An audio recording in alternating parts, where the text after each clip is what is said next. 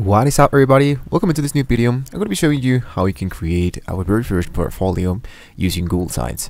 Now Google Sites is an amazing place to create a web page to include um, a portfolio uh, this is totally for free. I mean, we don't have to actually invest into anything but into our own portfolio items. So if you go into sites.google.com after you have signed it into your Google account, you can go into the gmail.com and then you can just sign in. As you can see, I'm already in here.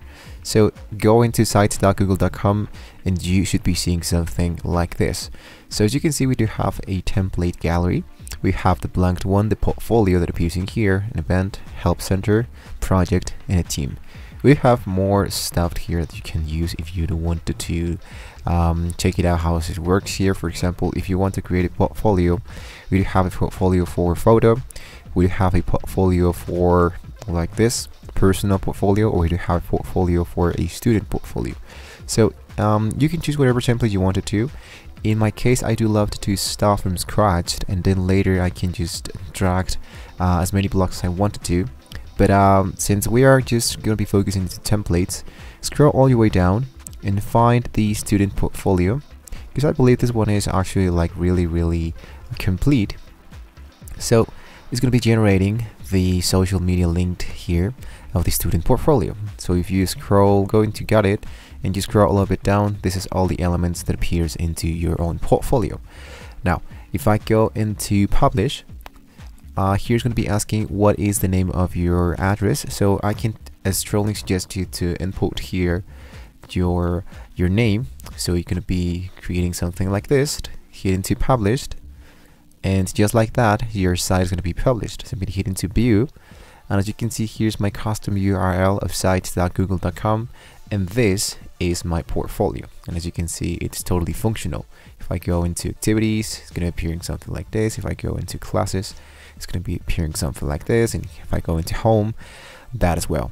So what I need to do now in order to start working here so I can make the edit section because we already have a link created totally for free I'm going to click into the X mark and I'm going to go back here into the edit section. So for example here what I want to do is to go into pages. And here as you can see we do have three different pages that we just saw into the very website that we created. So we have the home section. I want to get started here. So I'm going to type my portfolio. And you can type let's say for example like the 2023 if you don't like the text you can just click all of that hit into the Roboto and I can choose other text if I wanted to. Let's say for example this one.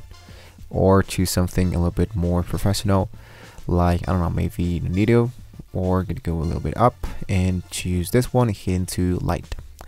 There we go. So it actually looks really really great. If you want to change even the color you can do that. You can do so much more than that. Let's say for example white color. And lastly I just want to change the let's say the image. So uh, in my case I'm gonna hit into change image and I'm gonna go into upload. So there's actually two ways that you can use images. If I have an image that I wanted to use I can just drag and drop. But if not what I can strongly suggest you is to click into select. And here you do have the option to copy and paste an image that you saw into the internet. For example here's a gallery by URL the searched on your Albury albums and the Google Drive. So in my case I'm going to go into cancel. And what I want to do is to actually delete my image I'm going to hit into upload and I'm going to go into my downloads and I'm going to select the latest image that I just selected and I'm going to be use that for my actual uh, background. So there we go. So as you can see um, I used to have a text here into the upper side and now I don't see that. So if I go into the insert section you might see that you can uh, try to move your own stuff here as you want to do. But if you don't see the actual title anymore you don't have to worry about that. Just get into text box. And this text box you can move that in the upper side. In my case I think that this one actually it's not enabled yet. So I'm gonna close. I'm gonna hit into my portfolio once again 2023 and then you can start to design as we were just doing that before once again I'm going to input here the same text I'm going to input the same title the same font and the same uh, uh, size of the of my text. So now that we have filled that what you want to do is to use start to edit your own text your own I'm going to leave it like this.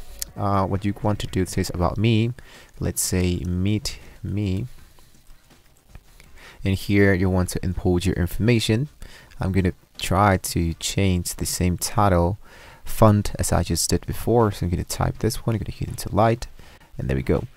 And then we do have the achievements traits and goals. So for example here I don't want to leave into let's say um, you want to go into the cinematic uh, field or let's say folder. And here I do have uh, filmic folder I have the photo folder and here have the music folder like this. There we go. So lastly as you can see we do have this element. If I clicked in here I can select that image whatever I wanted to. So I just want to focus into linked or into Google Images and I want to look out for music uh, portfolio image. And I'm gonna look out for something that can be really accessible for my actual let's say did this one I can choose select this one. And there we go. So it's going to be imported right away. So I can have my photo builder and I can do so much more that we were just creating. So lastly guys I just want to focus into going to get into photo um, template portfolio like that. Photo portfolio. I'm going to hit into back once again. I'm going to hit into Google Images photo template portfolio. So once you've finished customizing your your custom uh, portfolio custom website in my case I think speaking about photos I think I'm going to just look out for this one. This is just an example so I don't want to focus a lot into the very image. Um, we've just finished this section right? So what I want to do is to of course click in here and hit into review changes and published. So this is how it's going to be looking my draft and this was the currently published so I'm just going to make sure that everything is now inside the actual termed uh, everything is where it has to be right? So for example thing if I go now into publish I just want to go into view. And there we go. So here's my portfolio now updated. So um, lastly what I just need to do is to just start to edit the next section of classes and activities so here I'm going to go back here into Google Sites go into my pages and here into classes I can edit this one and I can change the name of this uh, text of this actual page. So for example here I want to uh, type contact and here I want to type let's say portfolio portfolio like that and then I can just start to edit so on and on. So with that being said guys this is how we can get started here into Google Sites and creating your own very portfolio totally for free which is I which I think is a really amazing tool. So thank you so much for watching the video guys. Don't forget to like and subscribe to the channel guys. Hopefully this was very useful for you. So with that being said I'll see you next time